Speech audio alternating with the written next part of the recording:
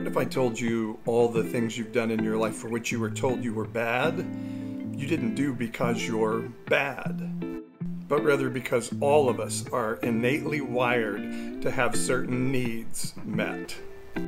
For much of my life, I've had a pretty explosive anger response. I've overeaten due to fear or stress or anxiety, and had a sense inside of hidden views of sexuality that my parents told me were demonic. In learning about dissociative identity disorder, I realized these weren't things done because I was an original sinner or inherently evil and dirt without Jesus.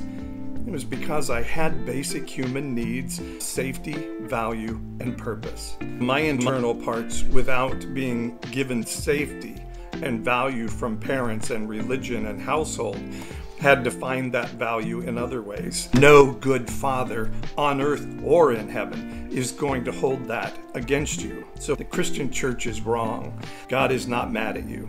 You are not bad. In fact, you're awesome. And once we understand that, we can grow and do things in a healthier way that pull us toward our better self in our connection to the goodness and energy of heaven and to the better self of loving our neighbors and even being able to love our enemies because our identity is strong and not coming from inclusion in an exclusive group that gets together in buildings every Sunday.